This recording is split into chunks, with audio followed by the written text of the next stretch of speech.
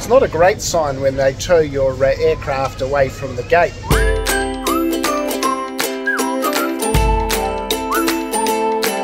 The golden rule does apply here. I'm at the airport and I'm ready to fly. Today's journey will see me flying from Sydney through to LA with United Airlines in their very fancy Polaris business class. It's been a long time since I've flown that, so I'm interested to see what it's like these days. It is almost 14 hours from Sydney through to LA, so uh, plenty of time to check it out. Join me, let's check in and fly to LA. Let's go.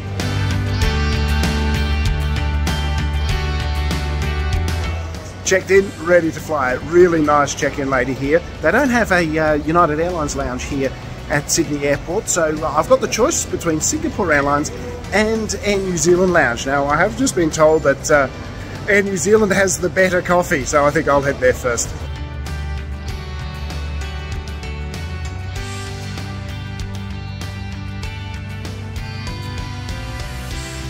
The Air New Zealand lounge is very nice. It was also much, much bigger than the Singapore Airlines one, so it's a good choice if you're flying out on a Star Alliance carrier. There are plenty of seating, drinking and dining options and some great views out over the airport.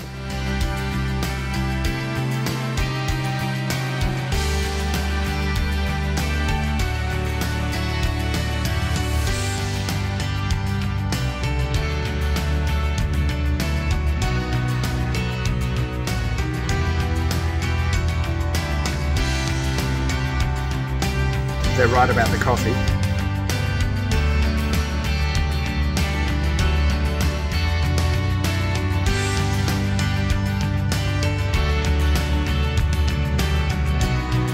Great lounge as always. Time to fly. Thanks, guys. See ya. Bye bye. Let's go to LA. I did quickly stick my head into the SQ lounge next door. It looked very nice, but was quite busy.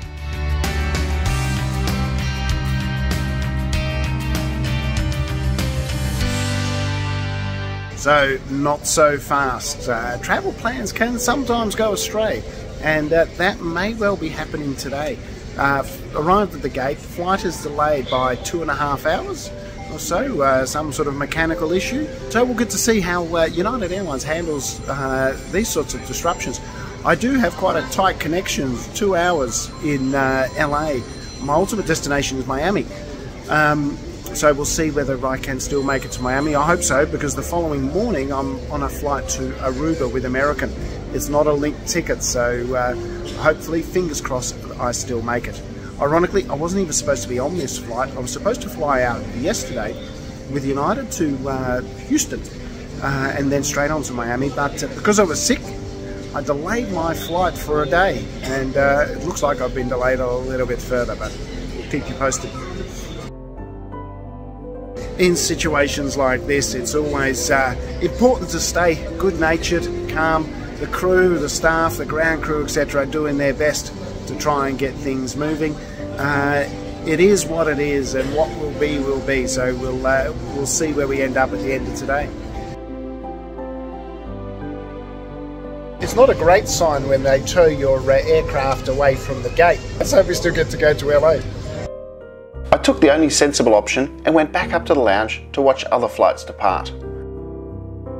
I also saw this engineer giving my aircraft a motivational pep talk.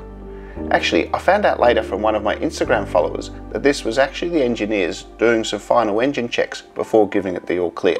Well, the pep talk must have worked because as I was filming this SQ-A380 getting its final wave off, we heard these magical words. Good afternoon. United Airlines wishes to advise customers travelling on flight UA842, service bound to Los Angeles, your aircraft is now cleared for boarding. Take two, let's see if we can fly this time. Thanks, bye.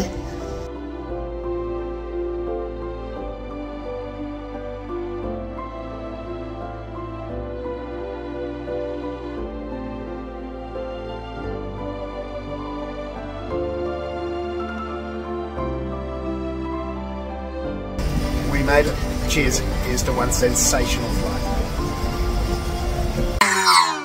So we've been further delayed by a bit because uh, in doing the engineering checks they found a problem with one of the tyres and it just needs to be replaced. They're doing that now and then we'll be on our way. But in a bit of good luck, the seat in front of me was empty. It wasn't when I did the seat selection. So I now have one of the closer to the windows seats uh, for my flight to LA, so be able to get some nice views, at least coming out of Sydney. The rest of the views will be ocean pretty much all of the way. So uh, looking forward to getting up in the air.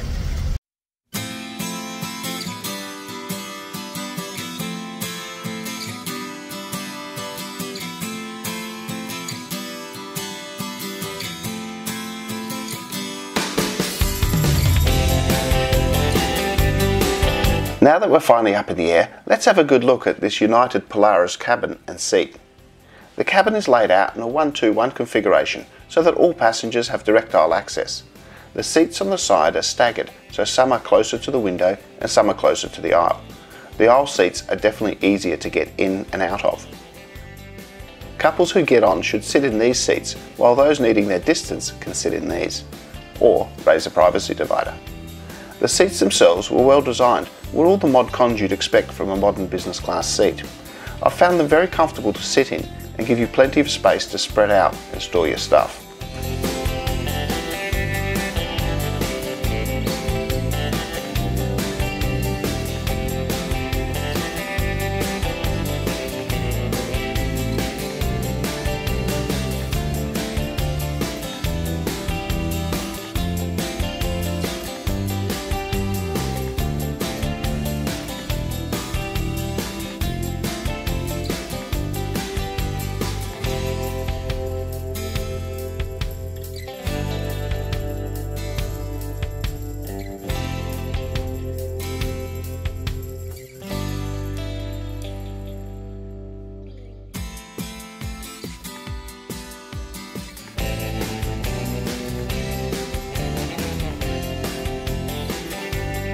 Not long after takeoff, a drink was served from the bar.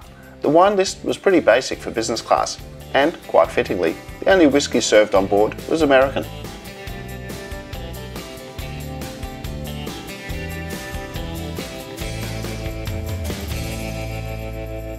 It's an American whiskey to start.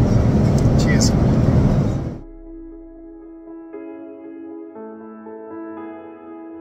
Next up was lunch.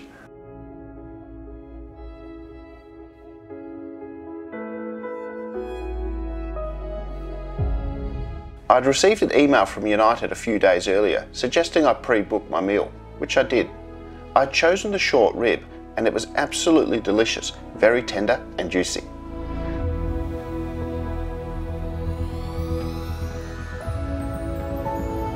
The salad with vinaigrette dressing was also excellent. The tomato with burrata cheese was a bit dull and the apple cake for dessert a bit dry. I should have gone for the ice cream sundae. The United entertainment system was excellent the flight plan, in terms of the order of service, was clearly laid out, and after lunch, it was lights out. Content-wise, there was heaps of choices for your viewing pleasure, including a whole section on wellness and relaxation. This aircraft was Wi-Fi enabled, and considering that we were out over the open ocean for most of the flight, it worked well.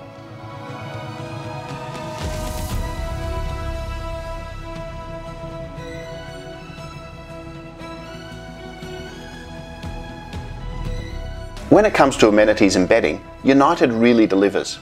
Interestingly though, United Airlines amenities kit comes in the form of a bum bag, as we Australians call them. This will come in really handy if I ever decide to become an eshay. It was very well stocked with all sorts of lotions and potions, which if used correctly should have me arriving in LA Hollywood ready and looking younger than ever. Regular viewers will know that I'm a lover of airlines that provide in-flight PJs in business class. They just make for a much more comfortable flight and make sure that your uh, clothes stay crease-free and clean. United Airlines does provide in-flight PJs, but I believe you need to request them and they don't always have enough for all passengers on board. So if you really want one, make sure that you ask when you when you're board. Let's see what it looks like let's try out the uh, in-flight PJs with United Airlines. One, two, three. Ta-da! And there you go. United Airlines PJs. Uh, more of a leisure suit, as the Americans would say. A bright blue top with a uh, nice grey pants with the matching slippers. Now, obviously, the golden rule does apply here. It is a flight from Australia, so I can wear them in business class, but I cannot walk into the economy class cabin without all of the passengers, especially the Australian ones, thinking I'm a bit of a dickhead. So, uh, time to go and get some sleep in the uh, on the lie flat bed. looks really nice. Let's go. Here's a look at all that bedding in action. You can request a seat mattress cover, and each passenger is also provided with a large quilt, a blanket, a big pillow, and a smaller memory foam pillow. The bed was fully flat, and the seats near the window have a good amount of footroom. Unfortunately though, they are very narrow at the shoulders and I just couldn't get comfortable. With some spare seats next to me, I made up the centre seat and this one was much wider at the shoulder, so more comfortable, but it was tighter at the feet. All that said, my body was just not ready for sleep, so eventually I gave up, hit the snack bar and did some work instead. Eventually the cabin was woken up and it was time for breakfast. I went with the smashed avocado and toast, which was excellent and really hit the spot. Another nice touch is that United serves Beerenberg strawberry jam, which comes from the hills not far from my hometown Adelaide. Eventually we saw land and started our descent into LA. At this point I realised I hadn't used the lotions and potions, so Hollywood will have to wait.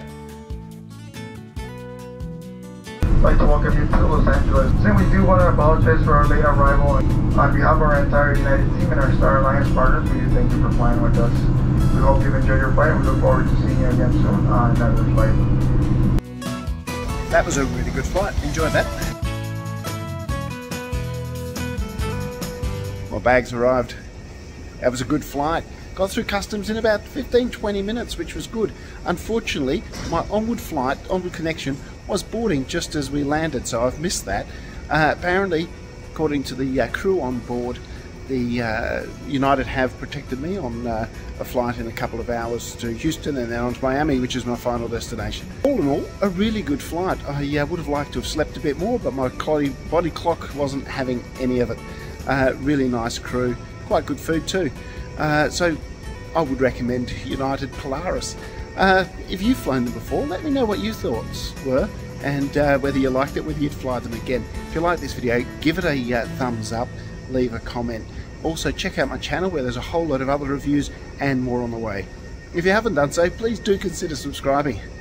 Uh, look, in the meantime, as always, happy travels.